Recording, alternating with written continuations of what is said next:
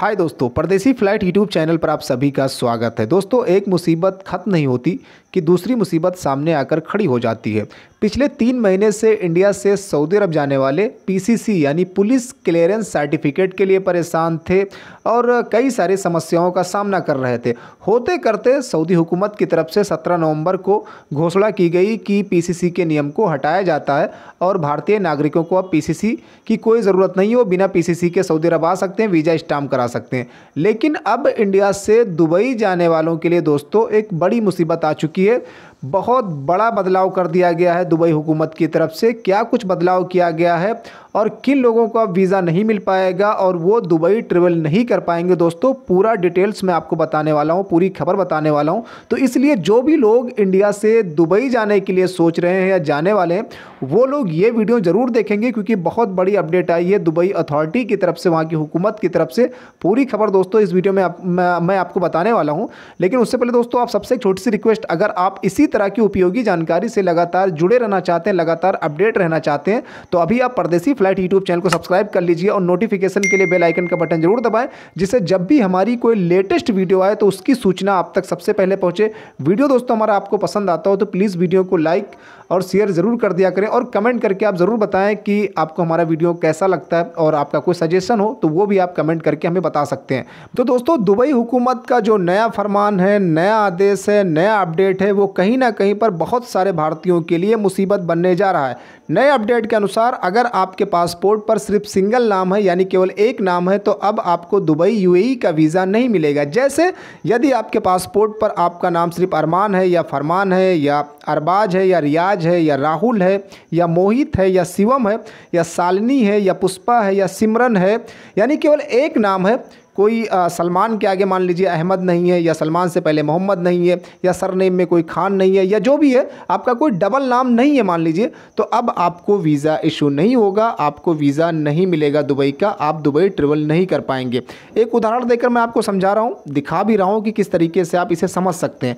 जैसे आप इस वक्त अपने स्क्रीन पर एक पासपोर्ट देख रहे होंगे, जिसमें गिवन नेम में केवल सलमान दिया गया है। इसमें सलमान से आगे ना तो अली लिखा हुआ है, ना अहमद लिखा हुआ है, ना तो सलमान से पहले मोहम्मद है। यानी ये केवल एक नाम है और सरनेम में भी कुछ भी नहीं है। तो यानी केवल ये सिंगल नाम माना जाएगा, केवल एक नाम माना जाएगा।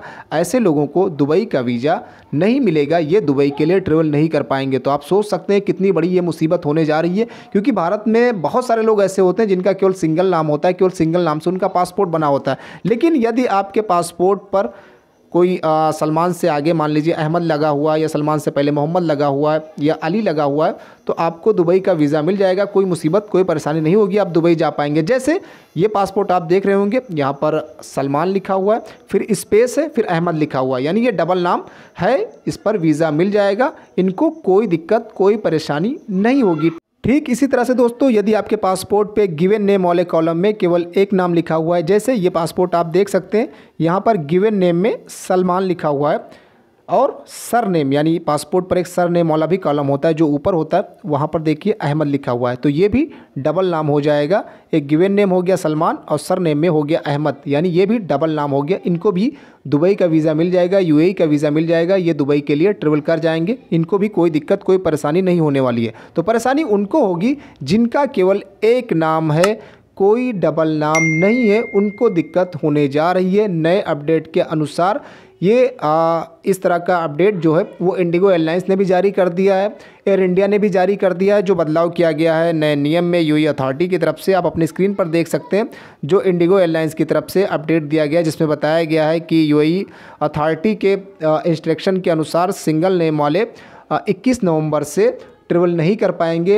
विज़िट वीज़ा या टूरिस्ट वीज़ा पर वो ट्रेवल नहीं कर पाएँगे। लेकिन यदि उनका रेसिडेंस वीज़ा है या एम्प्लॉयमेंट वीज़ा है तो वो ट्रेवल करेंगे, उनके लिए कोई दिक्कत नहीं होगी, चाहे उनका सिंगल नाम ही हो। तो ये अपडेट दिया गया है यूएई की तरफ़ से, दुबई की तरफ़ से। हालाँकि इस तरह का नियम बहरीन में पहले ही लागू है कि केवल सिंगल नाम वालों को वीज़ा इशू नहीं होता है बहरीन में, लेकिन अब दुबई ने भी ये अपडेट कर दिया है। बहरहाल दोस्तों, ये एक लेटेस्ट अपडेट है। हमें थोड़ा रुकना होगा, थोड़ा वेट भी करना होगा कि इस पर गवर्नमेंट ऑफ़ इंडिया किस तरह से प्रतिक्रिया देती है, क्योंकि 30 से 35 लाख भारतीय यूएई दुबई में काम करते हैं। बड़ी संख्या में टूरिस्ट इंडिया से दुबई आते जाते हैं। इसके अलावा पासपोर्ट पर सिंगल नाम होना भारत में एक आम बात है। तो देखते दोस्तों, आने वाले दिनों में इसमें क्या कुछ बदलाव होता भी है या नहीं होता है। जैसे दोस्तों इस पर कोई अपडेट आएगी, वो आप तक पहुँचाई जाएगी। इसके लिए आप परदेसी फ़्लाइट यूट्यूब चैनल को सब्सक्राइब कर ले।